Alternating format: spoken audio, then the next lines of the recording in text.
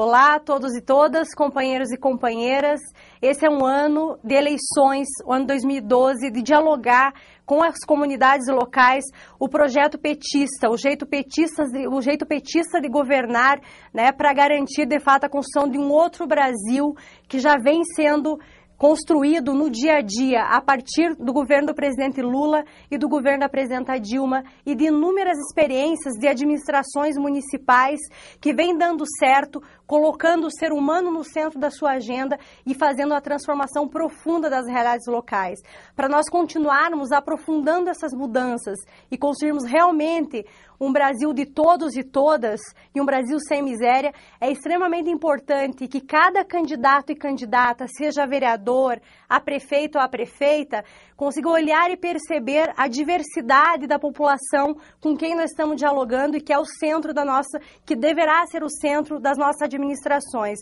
Nós não podemos pensar a política de maneira padronizada e a execução da política pública sem perceber as diferenças que nós temos hoje quando nós falamos da população brasileira. Dentro disso, um olhar sobre a juventude é extremamente importante, assim como um olhar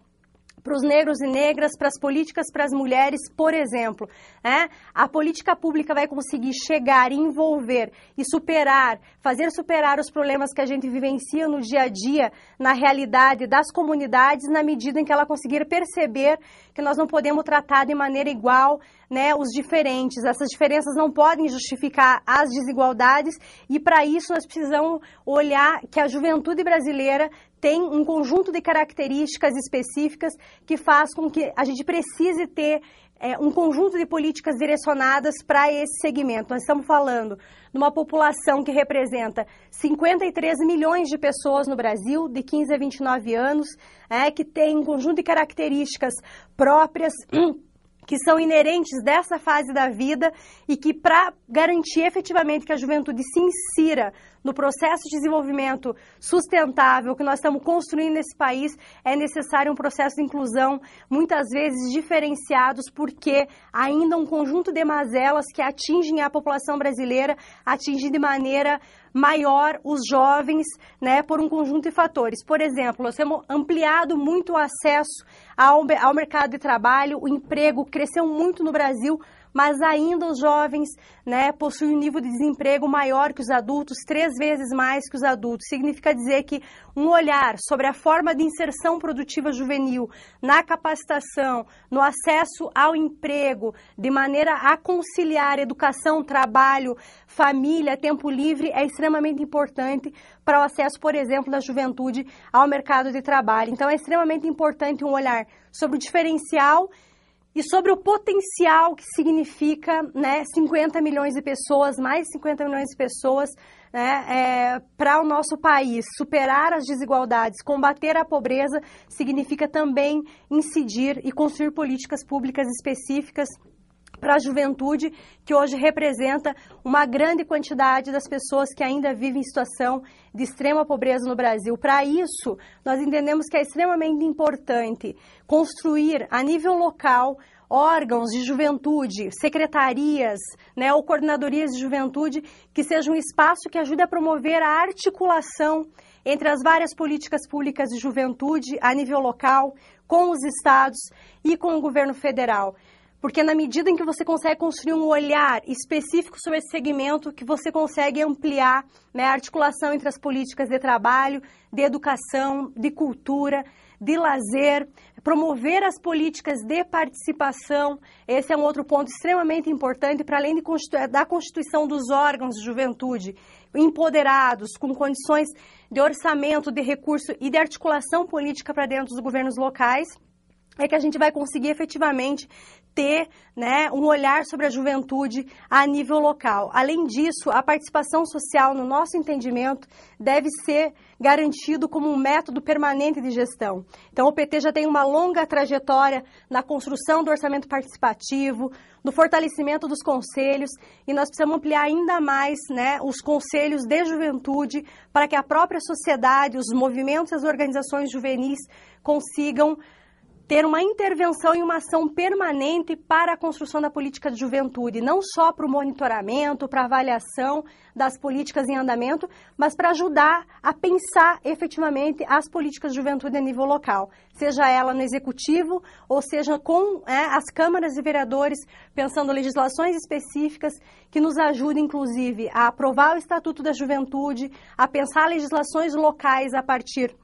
do Plano Nacional de Juventude, do Estatuto e da criação de um Sistema Nacional de Juventude que venha a fortalecer o papel dos órgãos federados, dos entes federados, né, de todos os envolvidos é, e que garanta orçamento, recurso e fortaleça o papel dos estados, dos municípios e do governo federal na execução das políticas públicas. Nós entendemos que a gente vai conseguir avançar muito na inclusão social da juventude, na promoção de uma maior autonomia e emancipação desse segmento, na medida em que o governo federal conseguir ser indutor da construção de um conjunto de políticas, mas que especialmente os estados e os municípios, nesse caso os municípios, né, consigam ter um olhar mais aprofundado acerca dessa população, porque é lá na ponta, é lá na comunidade, na periferia, na escola, é no centro da cidade, é na comunidade rural que esses jovens estão e é nesse local que a gente precisa chegar. E para isso a ação da prefeitura é extremamente importante. É por isso que a gente chama, pede, né, para que de fato os nossos candidatos e candidatas se envolvam nesse debate. Não é um debate menor, não estamos discutindo só a valorização dos jovens, a visibilidade no segmento, nós estamos discutindo um segmento que, no nosso entendimento, é estratégico para o desenvolvimento do Brasil, porque nós estamos falando de uma população com um peso demográfico bastante grande, do qual o Brasil não passará. Nós, nós estamos invertendo a nossa curva demográfica, o Brasil está começando a envelhecer então, nada melhor do que aproveitar né, esse bônus demográfico, entre aspas, de uma população juvenil que já está inserida nesse processo de desenvolvimento, mas que precisa ser, né, além de uma das principais beneficiárias desse processo de desenvolvimento, promotoras de um outro desenvolvimento, e isso se dá a partir da participação social, mas se dá também a partir da promoção de políticas que promovam essa emancipação, essa autonomia. Então, é extremamente importante que essa agenda entre para a elaboração dos programas de governo, que a gente consiga propor uma plataforma específica, a criação de órgãos gestores, a criação ou fortalecimento dos conselhos. E isso não é discutir o aparelhamento da política de juventude, é discutir a condição para que ela exista e para que exista um espaço a nível local que seja uma referência, que consiga promover articulação, seja entre os entes federados, seja entre as várias, os vários órgãos né, e secretarias numa, de uma gestão municipal, assim como nós precisamos promover né, a garantia dos marcos legais, do marco jurídico e legal que garante a, a, a definição dos direitos dos jovens do Brasil. Para isso, o Estatuto é, da Juventude, o Plano Nacional e o Sistema é importante. E essa é uma pauta muito central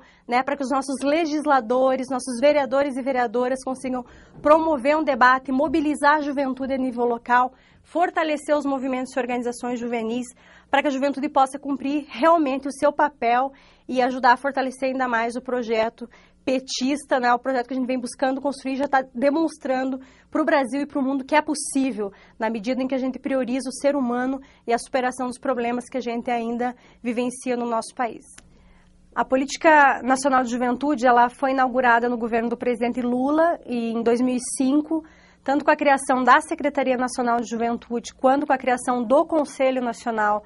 de Juventude e o ProJovem, que é um programa né, específico para a inclusão social e elevação de escolaridade de jovens em situação de vulnerabilidade. Isso foi um marco para a construção das políticas públicas com esse foco em juventude no Brasil. Muitos passos, muitos avanços vêm sendo é, é, realizados de lá para cá. Obviamente que nós já tivemos um conjunto de experiências que iniciaram em prefeituras, em governos estaduais, mas a construção da Política Nacional de Juventude e um olhar específico sobre esse segmento a nível do governo federal é recente. Né? Então, nós ainda temos, temos muitos passos a dar no sentido de fortalecer a política de juventude como um, segmento estratégico e uma política que, de fato, garanta a, a, o acesso dos jovens a uma vida integral. A qualidade de vida nas suas dimensões mais amplas, mas para que isso aconteça é extremamente importante que essa política possa acontecer lá na ponta. E como que essa política pode acontecer, né, de fato, lá no município, nas comunidades? Nós estamos falando no Brasil de uma realidade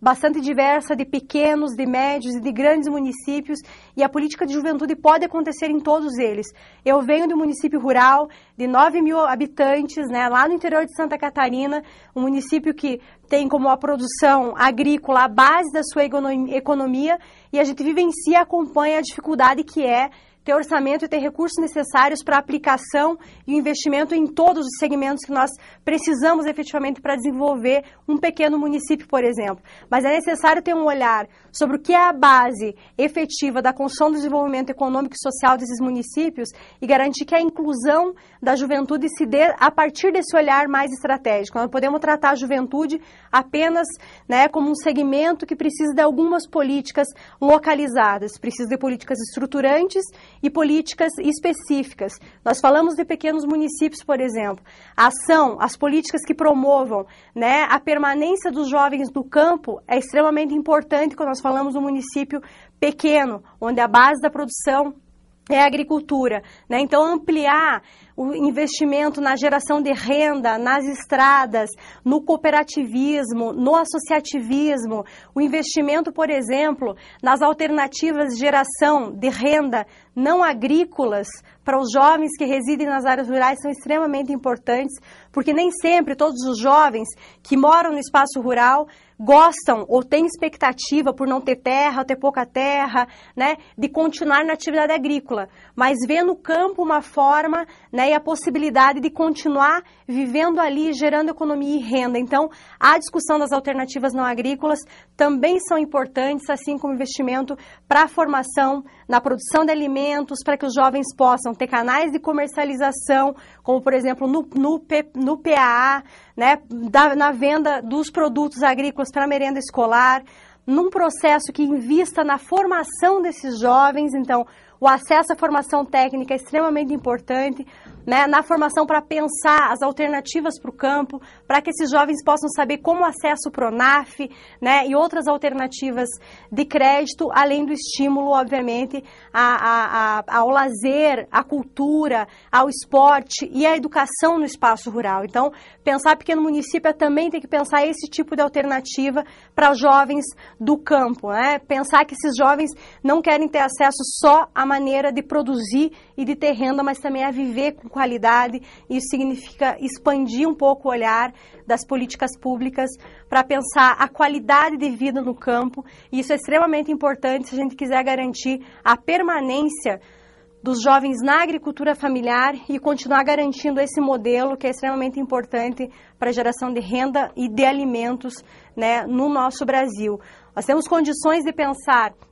a nível dos médios e grandes municípios, né, a necessidade de fortalecer e de criar equipamentos públicos que garantam que os jovens possam ter acesso ao lazer, à cultura, né, ao esporte, mas também à informação. Para isso, a Secretaria Nacional de Juventude está propondo a criação das estações de juventude, que são polos, espaços, equipamentos onde os jovens terão acesso a um conjunto de políticas públicas, as informações de como acessa essas políticas, onde acessa, né? como é que ele pode ter alternativa de emprego, de formação, de políticas de lazer e cultura a nível local. Essas estações elas vão ter três modalidades. Uma modalidade que são as unidades uh, fixas, que o governo federal estará apoiando os municípios a estruturarem espaços a nível local, equipamentos para a implantação das estações. Terão as estações complementares, que a ideia é trabalhar com esse conceito, com acesso à informação, é, com espaços dentro de equipamentos já existentes. Então, nós podemos, por exemplo, contar numa praça do PAC, é, uma praça da juventude onde ela já existe, um centro de referência que já existe numa comunidade, para garantir o acesso dos jovens às informações e às políticas que a Estação Juventude irá disponibilizar. Para além das complementares e fixas, a Secretaria vai estar disponibilizando as estações móveis. As estações móveis pode ser um ônibus, pode ser um barco, que vai chegar até no jovem. Então, a ideia é que esses equipamentos sirvam especialmente para os pequenos e médios municípios, para que ele possa cobrir um território inteiro, né? seja ele rural ou mesmo território urbano nas regiões com maior índice de violência contra a juventude, especialmente a juventude negra, né? e é uma forma de fazer com que o equipamento chegue no jovem, para esses jovens que não têm condição, muitas vezes, de ir até né, os espaços hoje, os equipamentos públicos existentes. Essa é uma ação muito importante, é dos principais programas da Secretaria. Né, nós vamos estar disponibilizando esse ano os convênios via os estados e a partir do ano que vem, conveniamento com os municípios diretamente para que essas estações possam ser é, implementadas. Então, a construção de iniciativas como essa, que agreguem a articulação das várias políticas a nível local, é extremamente importante. As estações vai ser uma alternativa, mas para além de quem não tiver acesso ou não conseguiu achar que a estação não é interessante, você pode propor a criação de um comitê né, de políticas públicas de juventude, integrando as várias secretarias que reúnam os vários órgãos do governo a nível local para pensar o que já existe, mapear o que existe política pública de juventude, propor novas ações, abrir um diálogo com o governo federal e estadual no sentido de conveniar a, a, a execução de políticas públicas a nível local e garantir um olhar integrado sobre as ações e as políticas para a juventude é, a nível local. Nós estamos dialogando um período onde nós vamos ter em breve Copa do Mundo, Olimpíadas e um conjunto de iniciativas que promovam o esporte, né, inclusive a geração de renda para os jovens a partir do esporte.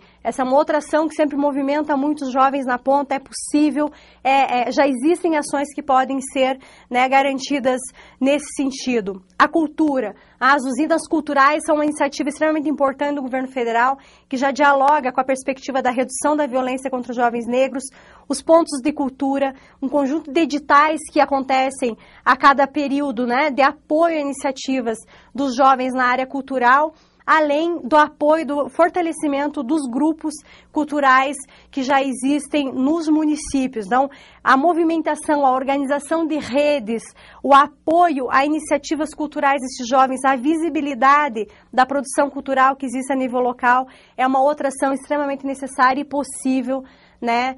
De ser feita um conjunto de ações que englobem o acesso às políticas, a produção das políticas públicas é importante, mas no nosso entendimento, a ampliação da participação social com a criação de conselhos é uma ação muito possível, desde pequenos, médios e grandes municípios, como uma ferramenta e um instrumento né, da execução da, da política de juventude. Além do fortalecimento e da criação de conselhos de juventude onde eles não existem, é extremamente importante que as nossas administrações possam fomentar a criação de novas formas de participação ou fortalecer essas redes de participação existentes. Nós estamos na era onde as tecnologias são muito utilizadas, as novas mídias são muito utilizadas pelos jovens e nós precisamos pensar em que medida essas novas mídias podem ser instrumentos que ajudem a promover uma maior participação da juventude. Tem pesquisas que apontam que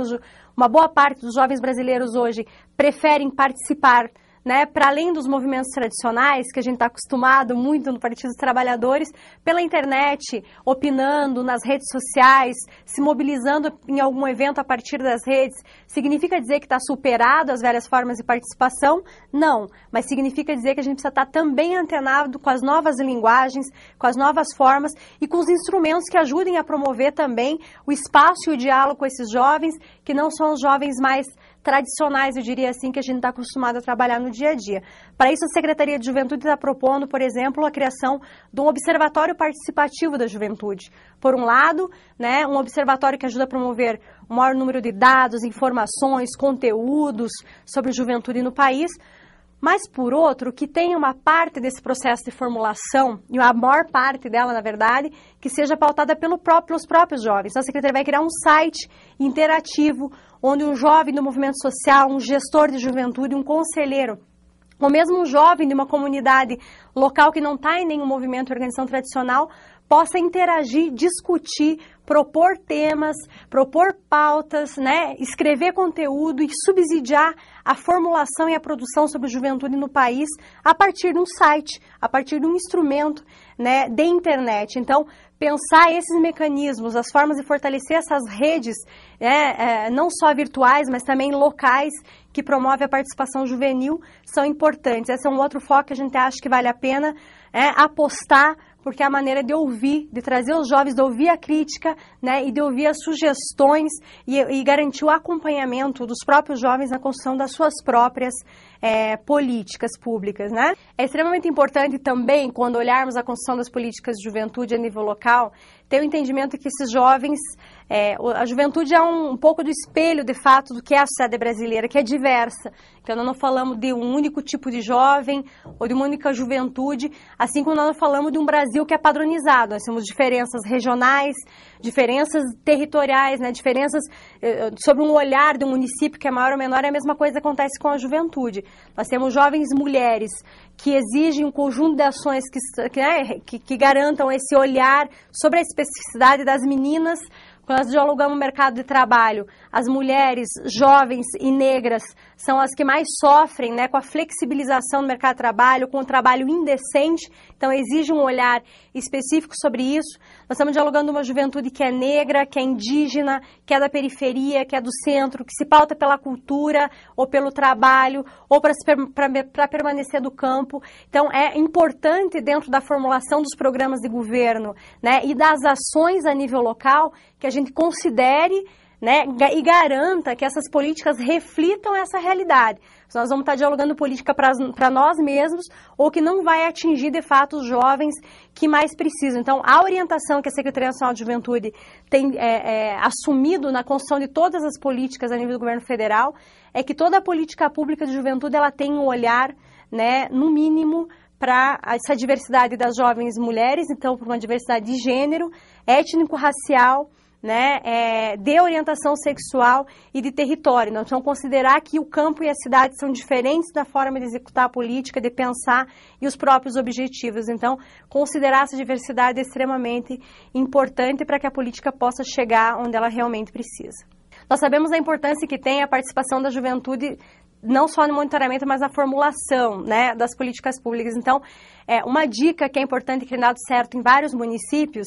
é que os nossos candidatos, os nossos vereadores, jovens e não jovens que assumam essa pauta nos nossos municípios, possam envolver os jovens para a construção das políticas local, locais, tanto as que passam pelo executivo quanto as que são de responsabilidades do, do Legislativo. Por exemplo, nós estamos discutindo a aprovação do Estatuto da Juventude no Senado Federal e estamos é, retomando um diálogo com a Câmara dos Deputados a partir da segunda Conferência Nacional de Juventude que aconteceu em dezembro de 2011, na necessidade de ter um conjunto de ações integradas e articuladas que desencadeie um plano nacional de juventude né, e que seja a diretriz da construção da política de juventude no Brasil para os próximos 10 anos. Isso só vai funcionar se refletir, obviamente, os compromissos do governo federal, as nossas metas, as nossas ações, mas também refletir a realidade local. Então, é extremamente importante que, a partir da participação, da realização de audiências públicas,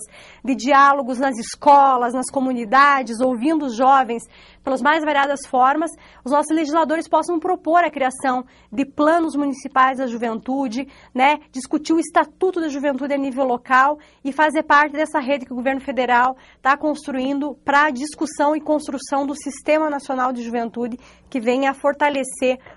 o papel dos entes federados, os recursos para a execução da política de juventude e a participação social. Então, são algumas questões que a gente acredita que os nossos candidatos e candidatas, vereadores e vereadoras, jovens e não jovens, comprometidos com o sistema, eleitos, podem estar desenvolvendo para fortalecer a possibilidade da execução da política, a participação social e a construção de um conjunto de legislações que amparem e ajudem a promover efetivamente as políticas de juventude como políticas de Estado, não somente como políticas né, dos nossos governos e que elas podem acabar amanhã ou depois. O Estatuto, o Plano e o Sistema podem nos assegurar que as políticas de juventude sejam perenes no nosso Brasil e quando a gente fala nosso Brasil, nosso país, é de fato do local até o nacional.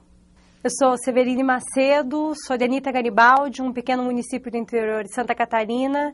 fui dirigente, militante da FETRAF Sul e FETRAF Brasil, Federação dos Trabalhadores na Agricultura Familiar. Venho da roça, da agricultura familiar, militei também na Pastoral da Juventude, fui secretária nacional da Juventude do PT de 2008 até o início de 2011 e agora estou secretária nacional de Juventude da Secretaria-Geral da Presidência da República.